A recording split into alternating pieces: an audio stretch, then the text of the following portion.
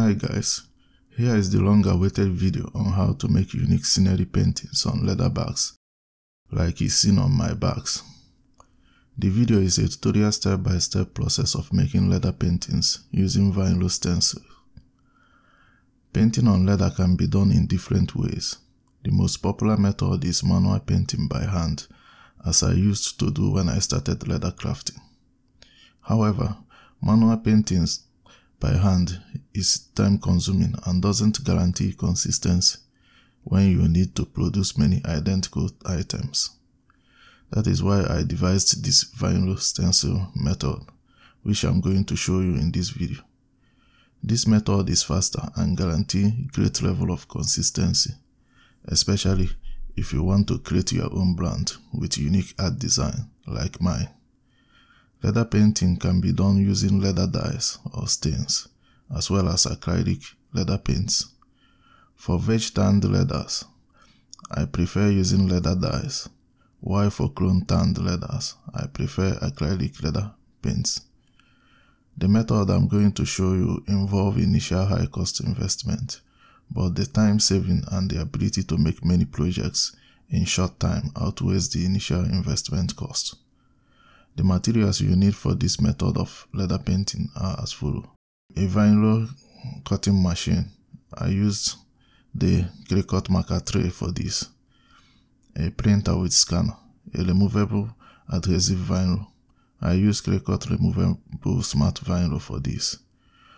Vinyl weeding tools. Vinyl transfer sheets. An airbrush and a compressor.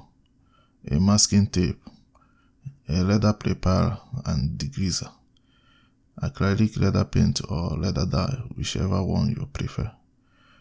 Acrylic leather paint thinner. I use Angelus 2-Thin for this. The first step in this method is to create your art drawing for the vinyl stencil. Start by drawing outline of your desired art which you want to paint on your leather product. You can draw inspiration from any object you are interested in. For this demonstration, I'm taking inspiration from a drawing on a kitchen paper towel, which I want to transfer on the mini tote bag I'm making. My next video will be on how to make this mini tote bag. I will also include a download link for the free PDF pattern in the video. So stay tuned by subscribing and clicking the bell notification button so you will be notified once I upload the video. Back to the business of the day. After you finish drawing the outlines of your art, increase the visibility of the outline with a marker pen. After that, scan your drawing and import it into Inkscape software. You can download Inkscape software for free from the web. Select the drawing and use the Trace Bitmap option from the Path menu on the menu bar to trace the outlines of the drawing. On the Trace Bitmap pop-up window, select Edge Detection option. Set the threshold to about 250 or 150 depending on the sharpness of your outline drawing. Make sure the smooth and stacked scans are checked and also check the remove the background option to remove the background of your scanned drawing. After that, click OK and drag the traced outline away from your scanned drawing using your mouse.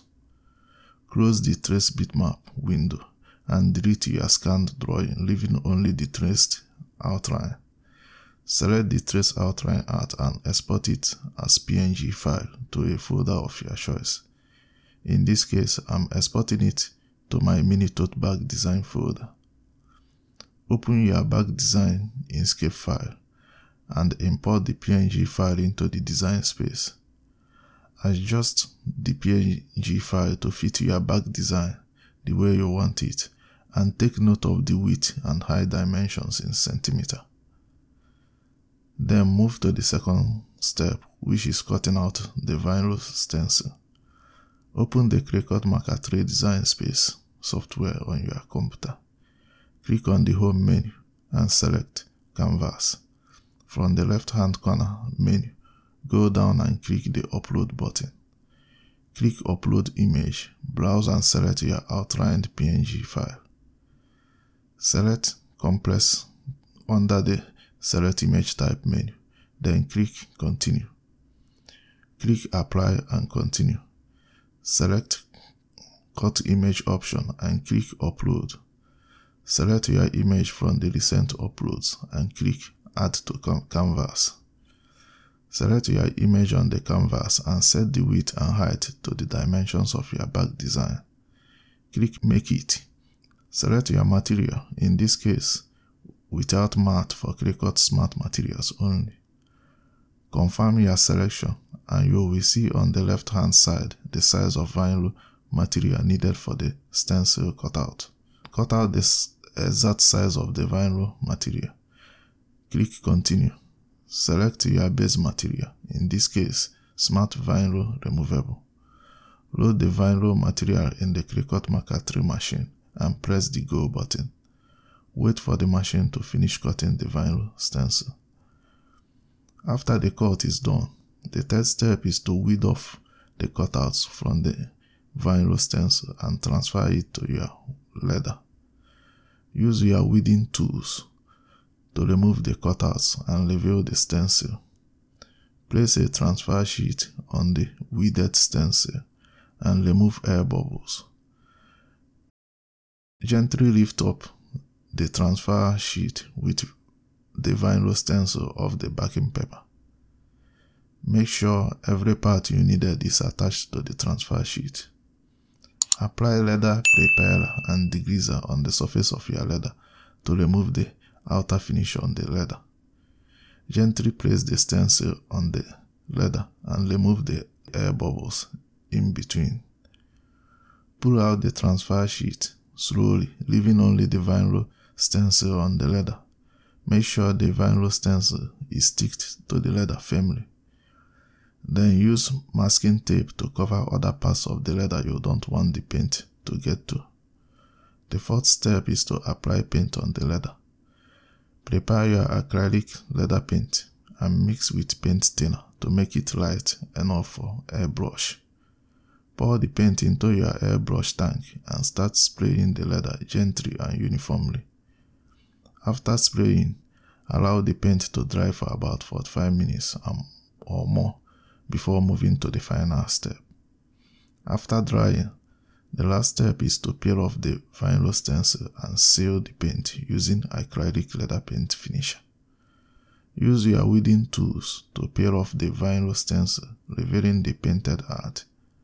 Apply acrylic leather paint finisher on the painted leather to fix the paint in and protect it from scratches and wipe off. Allow to set for about 30 minutes and your painted leather is good to be put in use. Thanks for your attention so far. To see the finished mini tote bag and how to make it, subscribe and click the bell notification button so you will be notified when I upload the video in coming weeks. Thanks.